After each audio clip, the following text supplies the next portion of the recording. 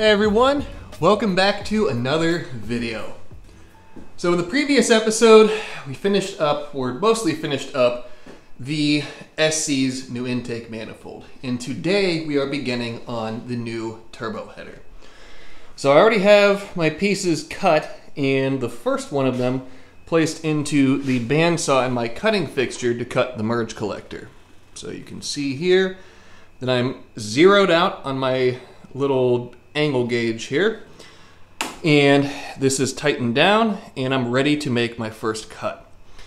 But the big thing when you are cutting merge collectors is figuring out the angle of rotation in between cuts.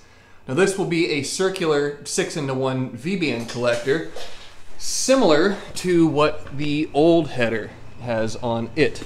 So this will be difficult to see since it's actually part of the header, but there are six tubes going around in a circle and mating up to this V-band turbine inlet flange.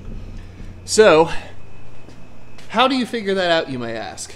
And some of it is fairly intuitive, but other times these collectors can be a little bit difficult to figure out the math for. But never fear, I have a solution for it, and let's go over that right now. The way that I like to think about cutting collector pieces is in terms of regular geometric shapes. Such as a 3 into 1 collector, you can base that off of a triangle, or 180 degrees total that comprises a triangle. A 4 into 1 collector is 360 degrees, so four of those pieces that go into a circle can be easily divided. But if that doesn't make a whole lot of sense to you, then this formula right here will. So this is the collector rotation formula that a buddy of mine came up with a number of years ago, and it works out very well to figure out your base degree of rotation minus any little fine tuning that you need to do for your collector pieces. So for proof of concept, I have my calculator right here. And let's take that 4 into 1 collector that the normal degree of rotation or the base amount of rotation is 90 degrees in between cuts. And let's plug that into this formula and show exactly how it works. So like a normal math formula, you work top to bottom like this and uh, let's go ahead and see what we need to do. So number of pipes minus 2, which would be 4 minus 2, is obviously 2 times 180 gives you 360 divided by 4 gives you 90. So there's your 90 degree. Like I was talking about before, the 3 into 1 collector being based off of 180 degrees, that would mean that you are 60 degrees per, per base rotation for each one of them. So let's do this. So 3 minus 2 equals 1 times 180 equals 180 divided by 3 gives you 60. And you can do this for all different types of collectors. So let's do a 5 into 1, for example. So 5 minus 2 is 3 times 180 equals 540 divided by 5, 108.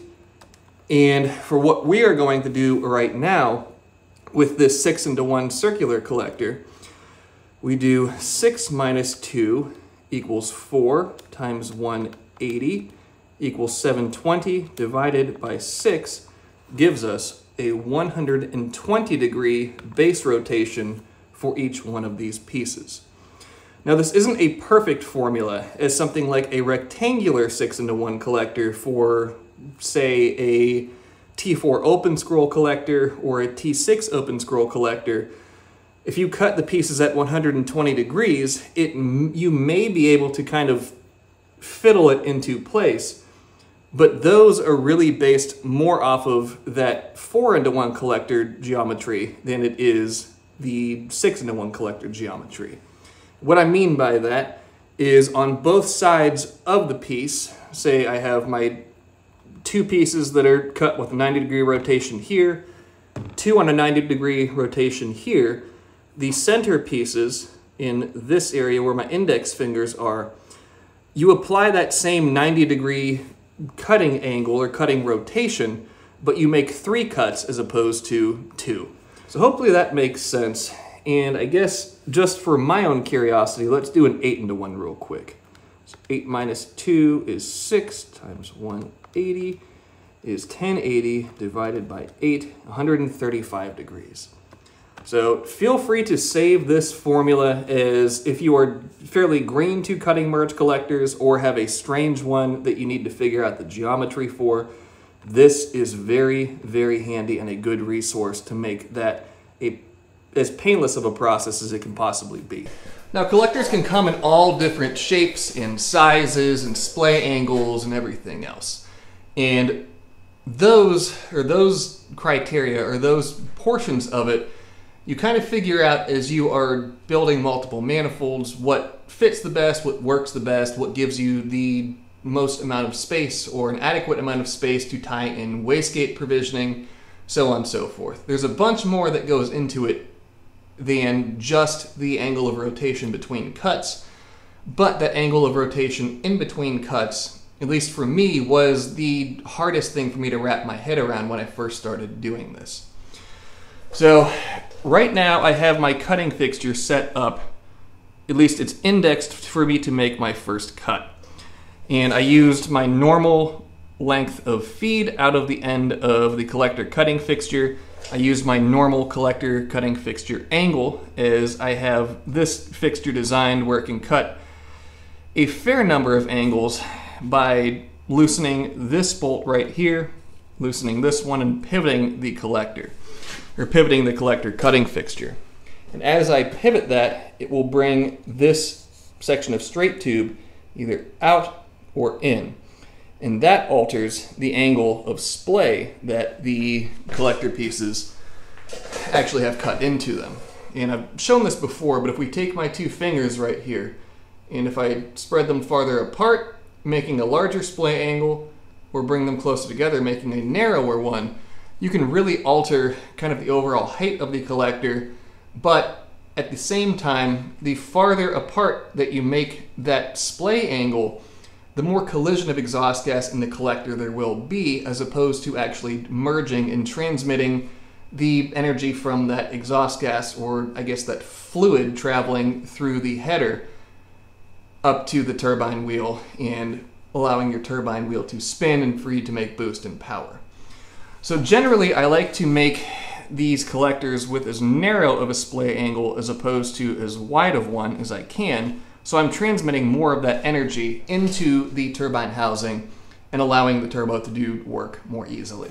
Well, my first cut has finished, and here is the piece that dropped off of it. So this can be discarded, and now it's time to do our second cut.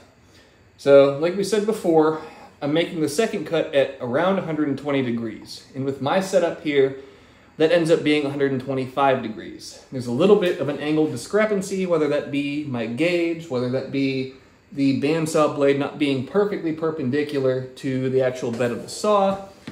That could be my cutting fixture isn't perfect. Whatever it may be, I figured out that there is a plus five degree discrepancy, and you may have something similar with your cutting apparatus, but you'll just have to figure that out yourself. So now I can go ahead and loosen the set bolt on my cutting fixture and do my rotation. So if we go ahead and rotate over and get me down roughly to 125 degrees, then I'll check my length of feed. And maintaining the same length of feed or as close as you possibly can to it is very important. If you have lengths of feed that are drastically different between cuts, then kind of the internal crotch, for lack of a better explanation, that won't line up appropriately. And that isn't the end of the world, provided that you're going to be welding the inside of the collector. But it makes that job much easier if your lengths of feed are at least, with my setup, probably plus or minus a 16th to an eighth of an inch. So now that I have my angle of rotation achieved, I can go ahead and tighten my set bolt and double check everything. So I'm about at 125 degrees, so I'm good to go there. And if I check my length of feed, I'm right where I want to be for that. And looking through here, it looks like my cut will go perfectly well. So at this point, I'm good to go to fire the saw up, drop this, uh, drop the band through it, make my second cut, and then there'll be one collected piece that's ready to be parted, and I can do it five more times.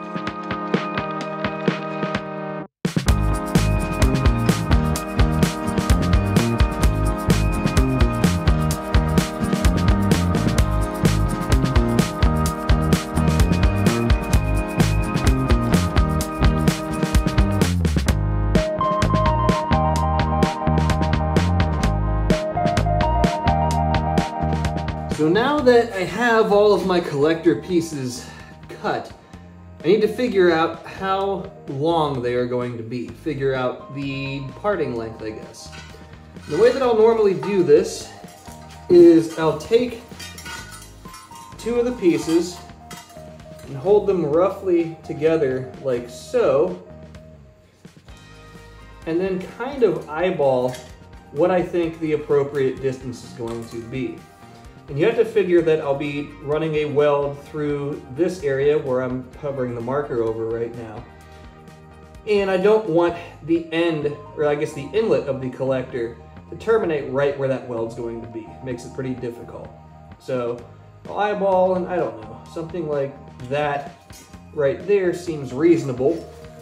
And from there, I can measure out and figure out what the nearest whole number or easily referenceable uh, number is, which in this case it appears to be around four and three quarters to five inches. So I'm going to step it down to four and three quarters, as I think that will be more than sufficient, or more than a more than sufficient enough distance to have this collector come together in a nice usable manner. So now that all of the collector pieces are parted and ready to be sanded, it's time to start and knock out the deburring process. So when these come off of the saw, I try to run the saw in such a manner where there's as minimal cleanup as possible, but there is still quite a bit that needs to be done.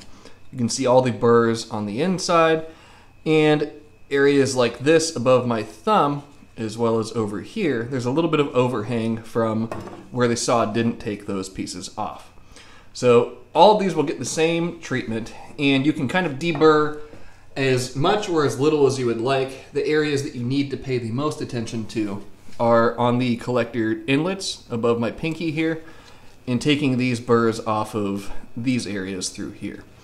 I'll do that and I'll sand these edges down but beyond that, I don't do a whole lot of cleanup as I'm typically welding the inside of the collectors as well. So if there's a little bit of residual burrs and everything else hanging in these areas, that isn't the end of the world as they'll just get melted into that puddle. So this video, I don't want to show the whole deburring process. It isn't that interesting. It's just holding things up on these sanders. So let's go ahead and do some YouTube magic and see these things now and then, and there we go. I got all of the major deburring that I wanted to do done on these. And like I said, you can still see some bit of burrs hanging on the inside of most of them. But again, that won't be a huge deal. It actually won't be a deal at all by the time that these seams are welded on the inside as well. So at this point, since Stainless Bros has such nice surface finishes on all of their materials, I don't need to do any alterations to the surface finish on these. So no polishing, no sanding, no anything like that. They're a nice brushed finish, which would be what I'd be going for anyways if I had bought a different type of tubing. But the fact that these are pre-prepped and everything else makes it so right now we can go over and get to tacking this collector together.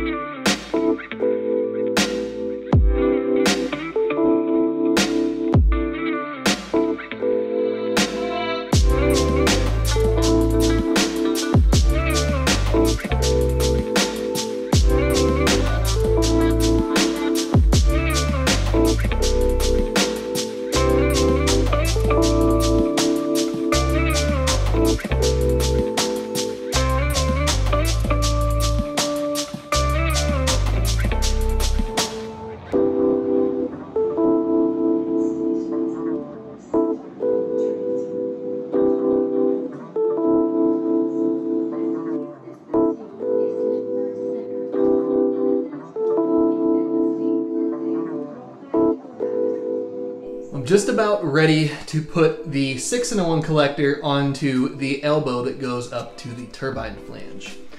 But before I do that, I wanted to show the end result of the inside of this collector now that it's all welded. You can see no more burrs or anything like that, just nice clean seams. Another thing that I did is I put a little bit of a grind on this tube here. And it may be difficult to see on camera, but kind of the purpose of doing that grind was to be able to rotate this elbow in a little bit while still keeping the collector straight uh, along the run of the head flange. So you can see my three little index marks there, the three corresponding ones on the collector. And once I get this tacked, I'll be ready to go ahead, weld this all together, and then this portion will be done and it'll be time to begin building.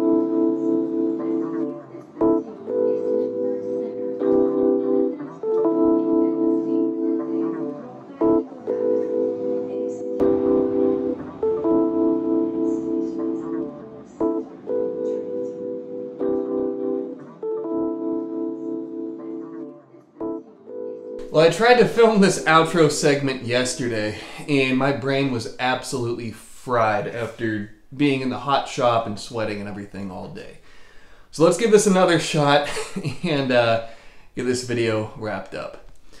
So this is the end result of the SC's new collector, and I'm very happy with the way that it has came out with the end product.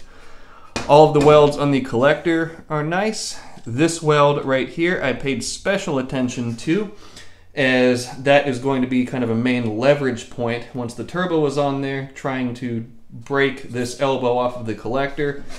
So I really went in there and made sure that I got good penetration on it. And you can see on the turbine flange to the elbow, I welded the inside of it. The whole collector is welded on the inside as well. And this piece is now ready to be the heart and the foundation of the SC's new turbo header. So I'm still waiting on the head flange. That should hopefully be here in the not too distant future.